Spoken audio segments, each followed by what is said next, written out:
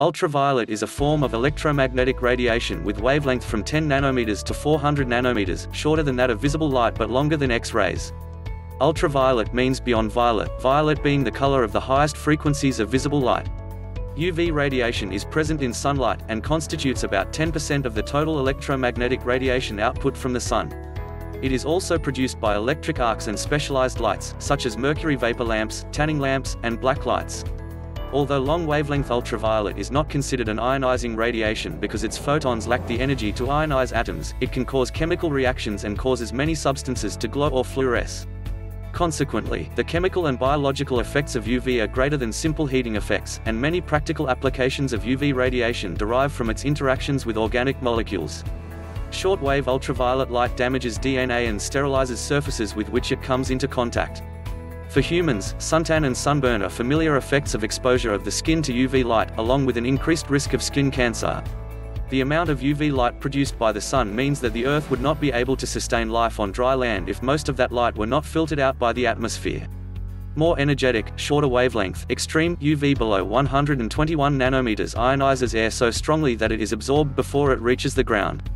However, ultraviolet light is also responsible for the formation of vitamin D in most land vertebrates, including humans. The UV spectrum thus has effects both beneficial and harmful to life.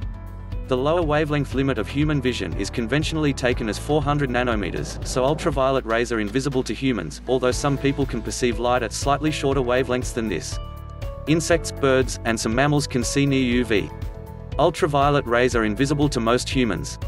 The lens of the human eye blocks most radiation in the wavelength range of 300 to 400 nanometers, shorter wavelengths are blocked by the cornea. Humans also lack color receptor adaptations for ultraviolet rays.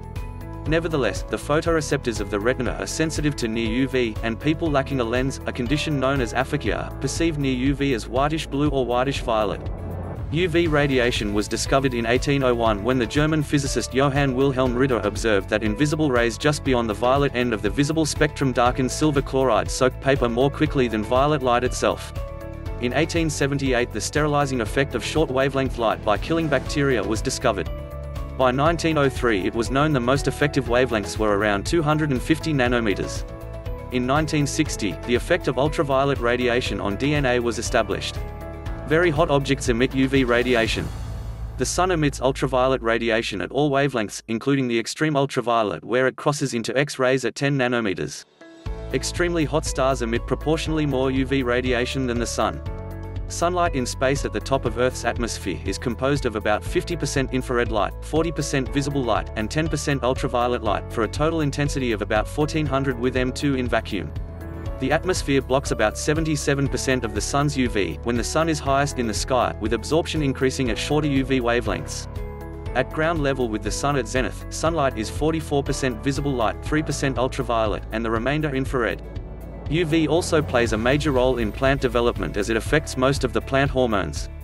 Ultraviolet absorbers are molecules used in organic materials as polymers or paints to absorb UV radiation and reduce the UV degradation of a material. The absorbers can themselves degrade over time, so monitoring of absorber levels in weathered materials is necessary. In sunscreen, ingredients that absorb UV rays, such as avobenzone and oxybenzone, are organic chemical absorbers or blockers. They are contrasted with inorganic absorbers of UV radiation such as carbon black, titanium dioxide and zinc oxide.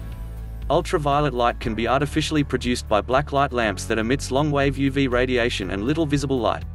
Black light lamps work similarly to other fluorescent lamps, but use a phosphor on the inner tube surface which emits UVA radiation instead of visible light. Black lights are used in applications in which extraneous visible light must be minimized, mainly to observe fluorescence, the colored glow that many substances give off when exposed to UV light. UV-emitting bulbs are also sold for other special purposes, such as tanning lamps and reptile keeping.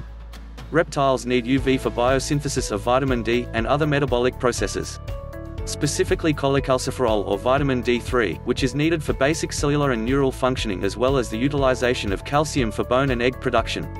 The UVA wavelength is also visible to many reptiles and might play a significant role in their ability to survive in the wild as well as in visual communication between individuals. Therefore, in a typical reptile enclosure, a fluorescent UV light source at the proper strength and spectrum for the species, must be available for many captive species to survive. Shortwave UV lamps are used extensively for disinfection of surfaces in laboratories and food processing industries, and for disinfecting water supplies. Commercially available low-pressure mercury vapor lamps emit about 86% of their radiation at 254 nanometers, with 265 nanometers being the peak germicidal effectiveness curve. UV at these germicidal wavelengths damage a microorganism's DNA, RNA so that it cannot reproduce, making it harmless, even though the organism may not be killed. UV light causes the body to produce vitamin D, which is essential for life. The human body needs some UV radiation to maintain adequate vitamin D levels however, excess exposure produces harmful effects that typically outweigh the benefits. Vitamin D promotes the creation of serotonin which is thought to provide sensations of happiness, well-being and serenity to human beings. In humans, excessive exposure to UV radiation can result in acute and chronic harmful effects on the eye's dioptric system and retina. Also overexposure to UV radiation not only can cause sunburn but also some forms of skin cancer. UV degradation is one form of polymer degradation that affects plastics exposed to sunlight. The problem appears as discoloration or fading, cracking, loss of strength or disintegration. The effects of attack increase with exposure time and sunlight intensity. The addition of UV absorbers inhibits the effect. Sensitive polymers include thermoplastics and specialty fibers like aramids. UV absorption leads to chain degradation and loss of strength at sensitive points in the chain structure. Aramid rope must be shielded with a sheath of thermoplastic if it is to retain its strength.